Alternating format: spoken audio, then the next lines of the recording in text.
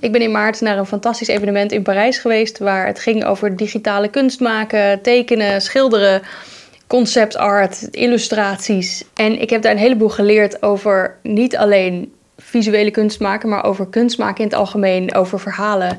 En ik wil graag jullie in deze video meenemen in wat ik daar heb geleerd.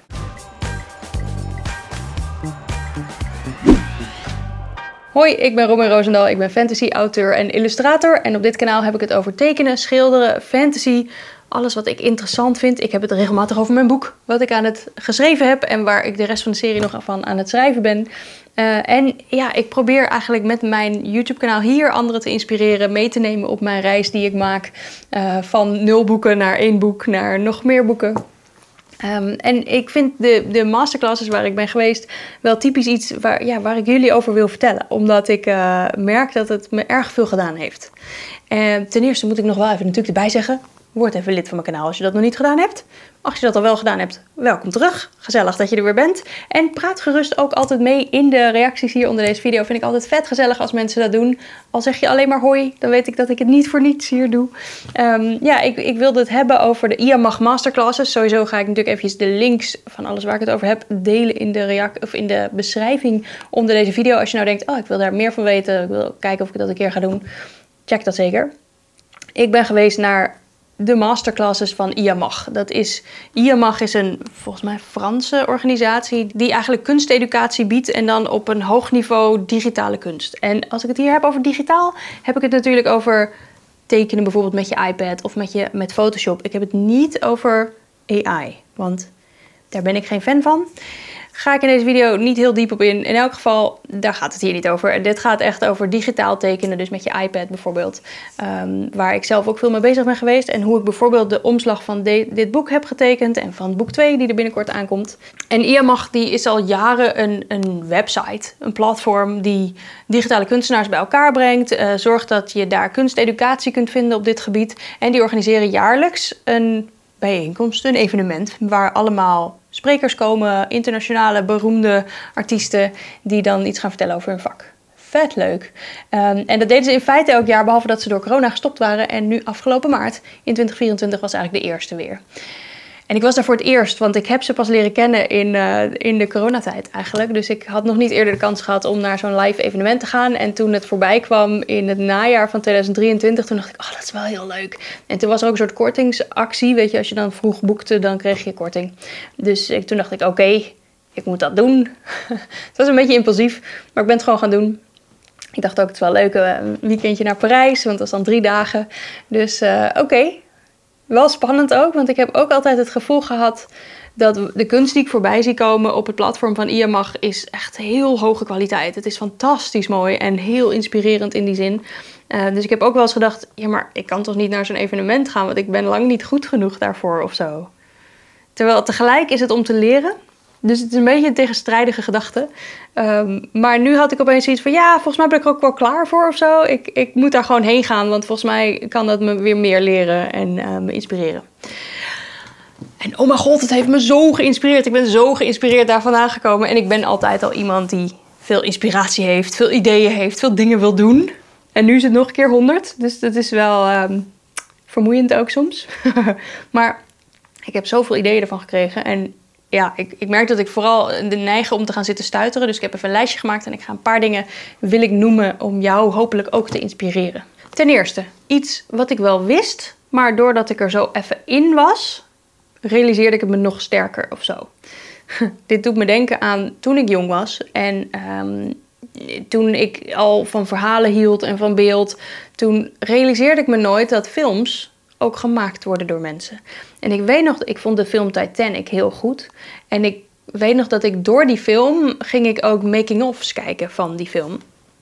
En daardoor realiseerde ik me, oh, dat is een werk waar je in kunt werken. Dat is eigenlijk de reden dat ik ben, dat ik ben gaan video maken. Dat dat mijn beroep is geworden. Um, en nu had ik weer een beetje zo'n realisatie. Namelijk dat ik dacht, oh, concept art en dus design voor films, voor animaties, voor games dat is een enorme beroepsveld. En dat wist ik wel, net zoals bij films vroeger. En toch, door dit even te zien, realiseerde ik me hoe groot het was. En hoe makkelijk je daarin zou kunnen werken. En dit, ik zeg makkelijk heel twijfelend, want het is natuurlijk niet makkelijk om daar maar werk in te vinden. Maar tot voorheen had ik eigenlijk gedacht dat het een soort van andere wereld was, waar het niet mogelijk was om daar een soort van binnen te komen. Uh, en nu denk ik, oh, dat kan wel als je dat zou willen. Dus dit is de eerste eh, les die ik eigenlijk met je wil delen. Stel dat jij graag tekent, illustreert, van alles in het creatieve vak, dan, dan zijn er misschien wel meer mogelijkheden om werk te vinden dan je zou denken. Zelfs in deze tijd van AI. Want AI kan daar echt niet alles zomaar in overnemen. Um, er is een hele wereld van het ontwerpen voor films. Dus uh, omgevingen ontwerpen, karakters ontwerpen, uh, ideeën ontwerpen over hoe dingen in elkaar zitten. Hoe een karakter in een bepaalde omgeving leeft. Hoe het huis van die karakter eruit ziet. En dan heb ik het over speelfilms. Want er zijn heel veel speelfilms bijvoorbeeld die ook in de ruimte spelen. Of op een andere planeet. Omdat er natuurlijk heel veel science fiction en fantasy gemaakt wordt tegenwoordig. Dat moet allemaal ontworpen worden. Je hebt animaties waarvoor dat ontworpen moet worden. Je hebt games waarvoor dat ontworpen moet worden. Dus als je er zo naar kijkt, is er eigenlijk heel veel werk daarin. En zijn dat gewoon studio's en bedrijven en organisaties waar je zou kunnen werken. Ik heb het nu over concept art eigenlijk voor games, voor films. Daarnaast heb je natuurlijk ook nog een wereld van illustraties voor bijvoorbeeld boeken, voor albumcovers, voor bedrijven kun je ook illustraties maken. Dus er is eigenlijk heel veel werk in de sector waar er gewoon tekeningen gemaakt moeten worden. En je kunt daarvoor definitieve tekeningen maken. Dus stel dat je gaat werken in animatie, dan kun je meewerken aan het tekenen van de animatie. Maar er zijn ook uh, tekeningen nodig voor ideeën, voor de ideeëngeneratie. Dat je ideeën maakt over hoe het er misschien uit gaat zien. Dus schetsen eigenlijk. En dat is eigenlijk wat je concept art noemt. En concept art heb je in landschapdesign, maar je hebt het ook in um, karakter, personage design. Dus dat is best wel veel uh, wat er eigenlijk getekend wordt. En wat ik daar zag bij IMAG is dat er uh, ook op allerlei manieren wordt gewerkt. Dus er zijn zeker artiesten daarin die ook AI gebruiken in het uh, ontwerpproces. Maar die dan vervolgens zelf gaan kijken van oké, maar als de AI hiermee komt, dat is dan dus cliché. Dus hoe ga ik vervolgens de volgende stap maken om het echt interessant te maken? Om het echt uh, iets nieuws te maken wat we nog niet gezien hebben. Uh, en er zijn artiesten die uh, digitaal werken met een iPad bijvoorbeeld of met Photoshop. Maar er zijn ook mensen die gewoon analoog werken. Zeker in concept art kan dat gewoon. Dus er was bijvoorbeeld Nicolas Weiss. Dat is een tekenaar die heel veel met potlood ook werkt. En daar veel designs mee maakt prachtige designs. Uh, die gewoon werk heeft ook in de concept art wereld. Dus dat zijn zeker ook mogelijkheden. Oh, en 3D wordt ook veel ingewerkt. Dus bijvoorbeeld Unreal Engine is een programma wat er veel wordt gebruikt. Om dan eigenlijk in 3D je, je scène zeg maar neer te zetten. De ruimte bijvoorbeeld. En dan vervolgens kun je er een camera in plaatsen. Waardoor je makkelijk kunt kijken vanuit welke hoek het mooi werkt. Er waren ook weer artiesten die zeggen: nee joh, dat 3D moet je helemaal niet doen. Iedereen doet maar alles met 3D tegenwoordig. Doe dat nou ook weer niet de meningen verschillen daarover. Maar er worden in elk geval veel verschillende manieren gebruikt uh, om art te maken. En er zijn heel veel mogelijkheden om, dat, ja, om, om daar werk in te vinden. En het tweede wat ik daarbij heel interessant vond om te ontdekken is dat tekenvaardigheden natuurlijk belangrijk zijn, maar tot een bepaald niveau of zo. En dat had ik me ook niet eerder echt beseft. En dus er was een van de lezingen die ook echt daarover ging. Zo van, die spreker, uh, Feng Shui volgens mij, die had het over. Ja, ik zie heel veel portfolio's voorbij komen. Want dat is typisch iets om te doen. Hè? Als je werk wil vinden in dit vakgebied, dan maak je een portfolio. En daarmee ga je naar de studio's om te laten zien: kijk, dit kan ik, neem me aan. dus hij vertelde, hij had heel veel portfolio's gezien. En hij zei: Ja, tegenwoordig zie ik heel veel portfolio's waar mensen kunnen laten zien dat ze echt goed kunnen tekenen. Dus oké, tekenvaardigheden zijn fantastisch, maar er zit geen idee achter. En dat mist dan eigenlijk. En dat vond ik heel boeiend. Dus oké, ten eerste, tekenvaardigheden zijn wel belangrijk. Want ja, je moet wel eerst oefenen met tekenen en zorgen dat je anatomie juist is. En dat je een beetje perspectief kan tekenen. En dat je weet hoe je met kleuren moet omgaan. Uh, dus ik zou zeggen dat je moet zorgen dat je een basis daarin hebt. En dat je dus ook ja, makkelijk genoeg bent met tekenen. Dat je, dat je gemakkelijk genoeg eventjes een, bijvoorbeeld een model kan tekenen als je dat ziet. Um, maar je hoeft ook weer niet een superpro te zijn die echt fantastische art kan maken. Want als je eenmaal die basis onder de knie hebt van dat je oké kunt tekenen, dan kun je ook concept art maken die heel boeiend is. Want hij had het dus eigenlijk over van ja, maar het gaat dus niet alleen maar om die fantastische tekenvaardigheden. Want in theorie kan iedereen dat leren. En het gaat hem juist om die stap verder. Het gaat hem juist om het idee erachter. Wat is die wereld die je creëert? Wat zijn die personages die je getekend hebt en die er fantastisch mooi uitzien? Maar wat is hun verhaal? Wat is de wereld waarin ze leven? En hoe heb je daarover nagedacht?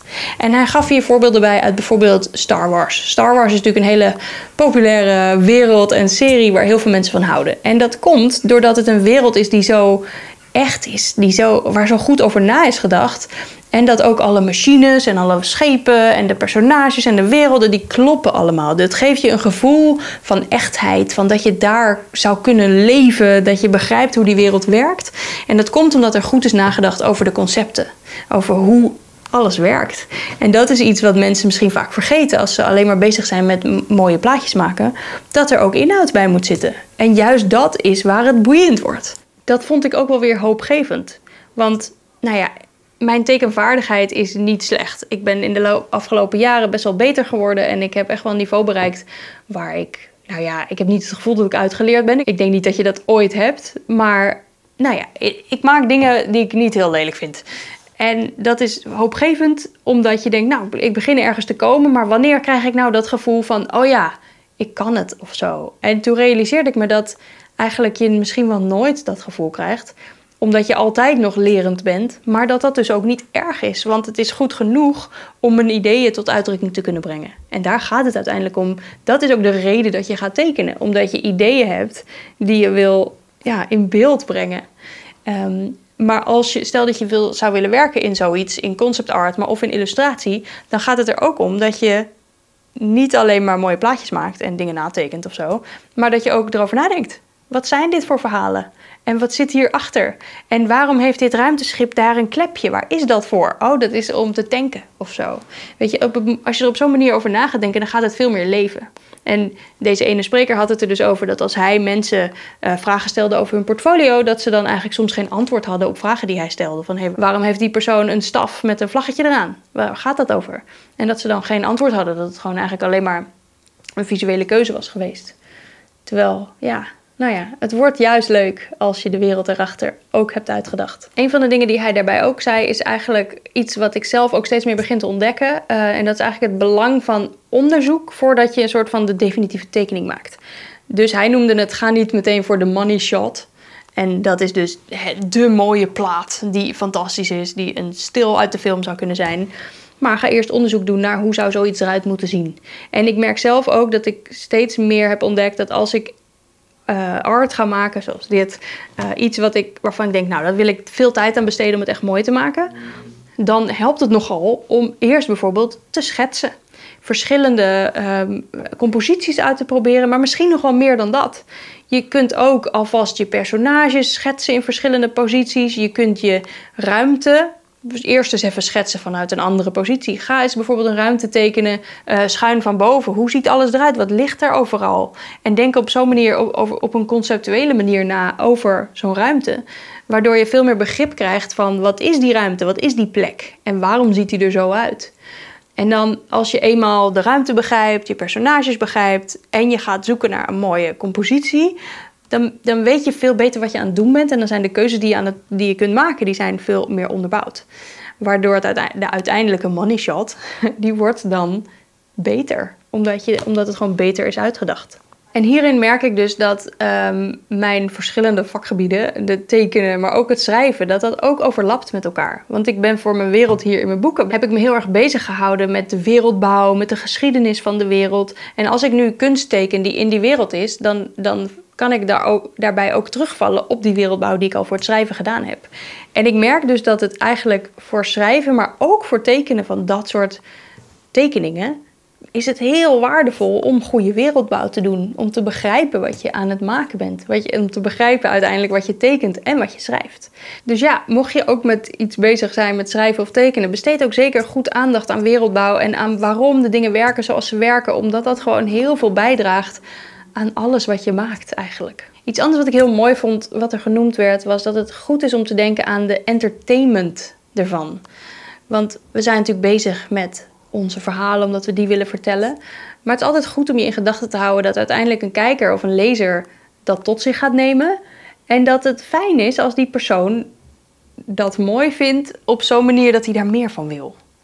Ehm, en dan ga ik weer even naar Star Wars, maar denk ook bijvoorbeeld aan Harry Potter en wat hebben we nog meer? Tolkien, de wereld van Tolkien. Dat zijn allemaal hele grote werelden, bijna een universum te noemen, die zo groot is en uitgebreid en ook goed uitgedacht met personages, met logica, met, met regels, dat het fijn is om daar naartoe te gaan in gedachten, zeg maar. Of in de film, in het boek wat je aan het lezen bent. Ehm, omdat het gewoon een wereld is waarin je je helemaal kunt onderdompelen. En dat die geloofwaardig wordt doordat het goed in elkaar zit, waar ik het eerder al over had. Ehm, dus juist doordat iets heel uitgebreid wordt en goed werkt, wordt het ook boeiend om jezelf als, als toeschouwer in te laten meevoeren. En als je dit lastig vindt, en ik vind het zelf ook lastig, want dan denk je ook, maar wat is dan entertainment? Wat maakt iets entertainment? Wat maakt iets boeiend waardoor ik ernaar wil kijken? En wat ik zelf doe in zo'n situatie is dat ik gewoon ga analyseren. Ik heb analyseren van films en boeken altijd fantastisch leuk gevonden. Um, en dat is iets wat ik nog steeds heel veel doe. Dus als je zelf kijkt naar de dingen die jij mooi vindt, wat is dan hetgene waardoor het zo werkt voor jou? Probeer dat voor jezelf op een rijtje te zetten. Maak een lijstje ervan. Wat zijn die elementen die zo goed werken? En wat, wat ligt daaronder? waardoor werkt die wereld die zo goed, die zo leuk is?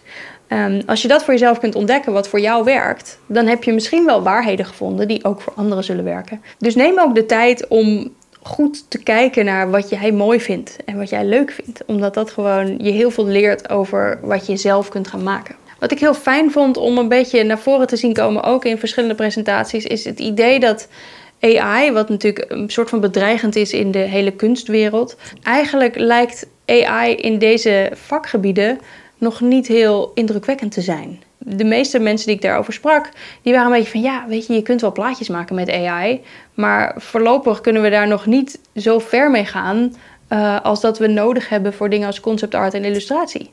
Want juist dat idee dat je meer nodig hebt dan een mooi plaatje, um, je hebt een idee nodig, een concept erachter, een wereld die werkt, die klopt. Nou, op dit moment kan AI mooie plaatjes maken en een soort van verhaaltjes wel maken in tekst. Maar kan AI al een hele wereld scheppen die intrinsiek helemaal klopt? Die entertaining is om in te zijn? Ik denk het niet. En misschien dat AI daar ooit komt, dat kan. Uh, maar op dit moment zijn we daar nog niet. En dat vind ik ook wel weer hoopgevend. Dat ik denk, ja, er is dus op dit moment nog echt genoeg ruimte in, de, in deze sector om te werken als mens. Omdat er gewoon omdat het niet gaat om die oppervlakkige mooie plaatjes, maar om de ideeën erachter.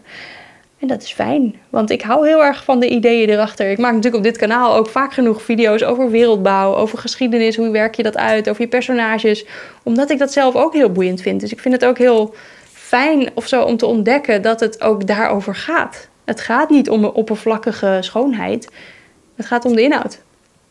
Nou, dat is sowieso een goede levensles, toch? Laat ik tussendoor ook nog eventjes wat over mijn boek zeggen. Mocht je me nog niet kennen en mijn boek nog niet gezien hebben, dit is mijn boek. Dit is Flora Luria's, deel 1 van de serie Levende Steden die ik aan het schrijven ben. En uh, ik schrijf het, ik illustreer de buitenkant, maar ook de binnenkant. Er staan illustraties in. Uh, het is, de buitenkant is digitale art en de binnenkant is handmatig, is gewoon analoge, traditionele kunst. Um, ja, dus daar ben ik heel trots op. Het is een, serie die gaat over een wereld waar steden levend zijn. En die levende steden zijn een beetje verwaarloosd en hebben daardoor psychische problemen ontwikkeld. Oh. En het begint in Amsterdam. Want ik woon zelf in Amsterdam en uh, vind ik leuk. Dus het is ook een portal fantasy. Nou, mocht je nieuwsgierig zijn, ik zal hierboven even een link zetten naar mijn website waar je er meer over kunt leren. Nog een leuke les die ik uh, voorbij zag komen en waar ik merkte dat iedereen heel goed op reageerde was: maak je los van de clichés. En ik heb het vaak op dit kanaal gehad over clichés bij schrijven. Over verhaalclichés die je vaak voorbij ziet komen. We noemen ze ook wel eens tropes. Gewoon verhaalstructuren die je vaak ziet.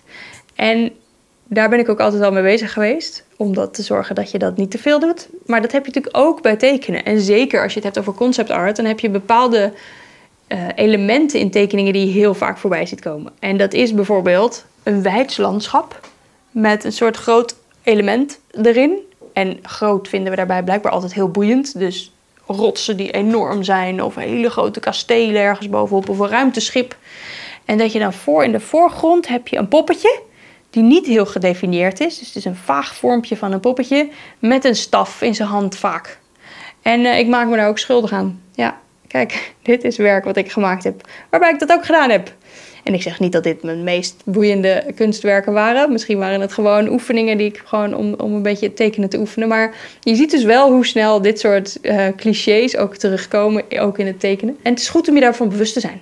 Ik zeg niet dat het fout is, ik zeg niet dat je niet mag maken. Ik heb het zelf ook gemaakt en ik zal het vast nog wel vaker gaan doen. Maar wees je ervan bewust dat die clichés er zijn. En als je echt denkt, ik wil echt iets tofs maken, is het misschien mooi om verder te kijken naar hoe kan je een plaatje boeiender maken.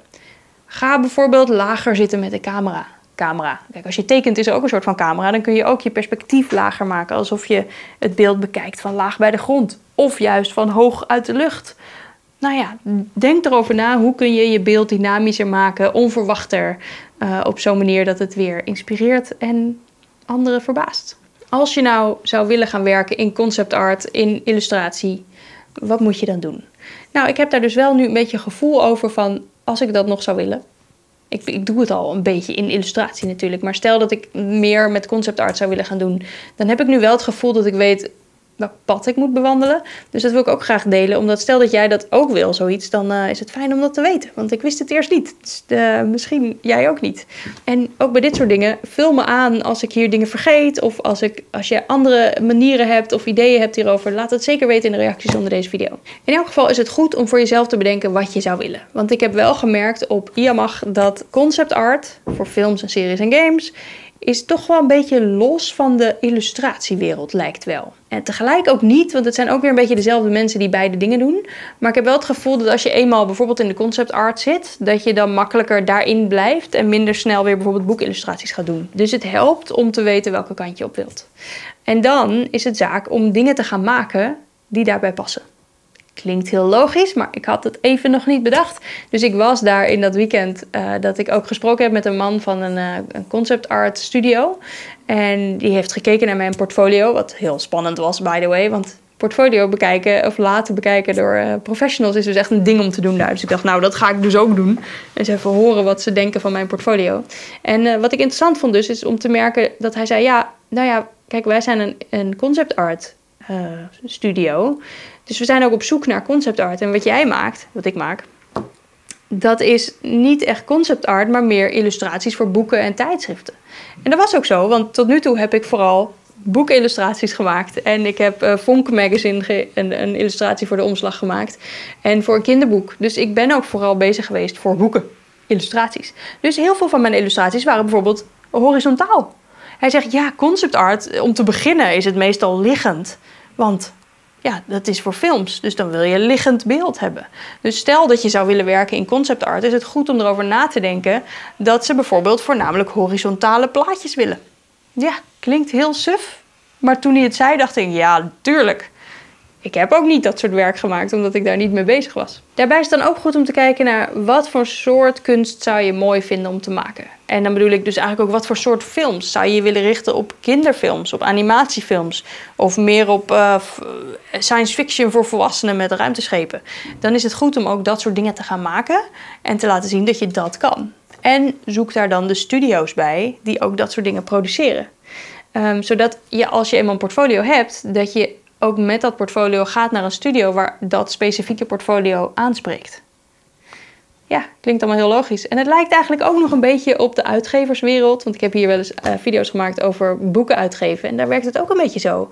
Zorg dat je iets schrijft wat past bij een uitgever. Of eigenlijk, zeker bij een boek schrijven zou ik het zeggen, het is andersom. Kijk waar wat jij geschreven hebt waar dat past. Dus welke uitgeverij geeft dat soort boeken uit? Mijn boek is uitgegeven bij uitgeverij Zilverspoor. Die geeft Nederlandstalige fantasy uit. Ja, dat past. dus dat, zo kun je ook gaan kijken naar als je wilt werken in concept art of illustratie. Wat voor soort bedrijven, wat voor soort uitgevers of uh, studio's maken het soort werk wat ik leuk vind om te maken. En dan is het natuurlijk ook wel zaak dat je goed leert tekenen. Want ik zei al, hè, tekenvaardigheid is niet alles. Een groot deel gaat ook over ideeën en, en verhaal erachter. Uh, maar tekenvaardigheid is wel belangrijk tot een bepaald niveau. Dus het is wel belangrijk dat als je dit soort werk wil gaan doen, dan zul je je moeten ontwikkelen uh, op het tekengebied. En gewoon zorgen dat je de, de basis onder de knie krijgt. Dus uh, anatomie, portret, uh, perspectief, het gebruik van materiaal, dus dat je om kunt gaan ook met verschillende soorten materiaal. Um, ga je daar dus echt in opleiden? Ga bijvoorbeeld een cursus doen over tekenen, waar je juist specifiek dat soort dingen leert. Want dat is interessant. Ik zou ook wel zeggen, als je werk wil vinden in dit vak, dat het wel helpt om in elk geval ook digitaal te kunnen werken. Zeker als je beginner bent, want ik noemde natuurlijk eerder in deze video een man die eigenlijk voornamelijk traditioneel werkt.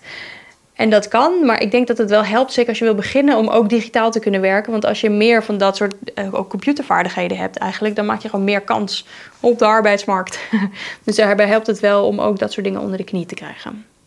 En dan tenslotte zou ik zeggen, ga naar dit soort evenementen als waar ik geweest ben. Ga naar plekken waar je... Oh, hallo. Ben je er weer, joh? En tenslotte zou ik dan ook nog zeggen, als je hierin wil werken, ga naar dit soort evenementen. Want het helpt wel om te luisteren naar de sprekers die spreken op dit soort evenementen, die ervaring hebben in deze wereld. Het helpt om je portfolio een keer te laten zien aan professionals. Het helpt om andere deelnemers te ontmoeten die ook hiermee bezig zijn. Um, dus het is gewoon heel leerzaam. En er zijn een aantal dingen waar je heen zou kunnen gaan. IAMAG is een van die dingen. En ik zeg steeds IAMAG, maar het IAMAG heet het platform en hun event heet dan IAMC met een jaartal. Ik weet eigenlijk niet waar dat voor staat. Moet ik misschien nog even uitzoeken. In elk geval, je hebt het IAMAG uh, evenement. Je hebt in Nederland Playgrounds Festival. Dat zou ik zeker aanraden, want je bent waarschijnlijk een Nederlander als je dit kijkt. Uh, en Playgrounds is in Eindhoven één keer per jaar. Het is ook in Berlijn één keer per jaar, maar is iets verder weg. Het is in elk Eindhoven één keer per jaar in april.